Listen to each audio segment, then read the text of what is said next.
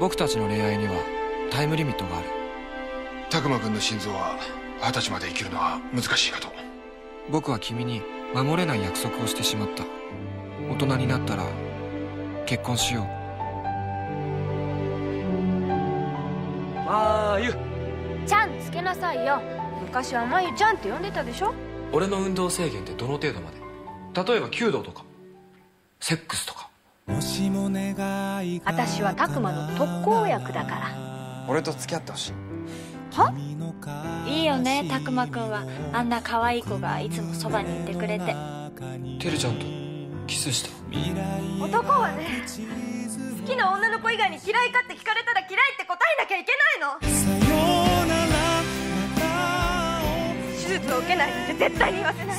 拓磨が死んだら私も。あゆ姫は何にも分かってない大切な人が亡くなるってことがどういうことか。お願いしますお願いしますこのままじゃたくまが死んじゃうお願いですください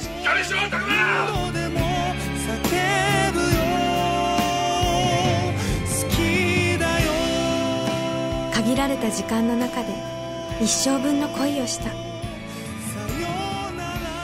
僕の初恋を君に捧ぐ